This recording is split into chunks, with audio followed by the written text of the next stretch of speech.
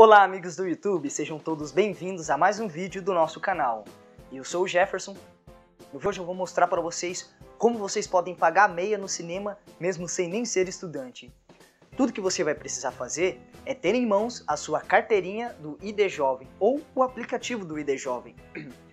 Muita gente não sabe o que é ID Jovem. Se você parou nesse vídeo aqui e não sabe o que é o ID Jovem, o ID Jovem é um programa que o governo dá onde beneficia jovens. Você pode pagar meia no cinema, meia no teatro, pode viajar de graça para qualquer estado do Brasil, você pode pagar, você pode fazer a prova de graça do vestibular.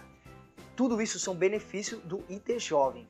Se você se interessou, quer cadastrar, eu vou deixar esse card aqui, você pode assistir esse vídeo, onde eu explico especificamente como cadastrar o ID Jovem. Mas vamos direto ao assunto deste vídeo. Como vocês fazem para pagar meia?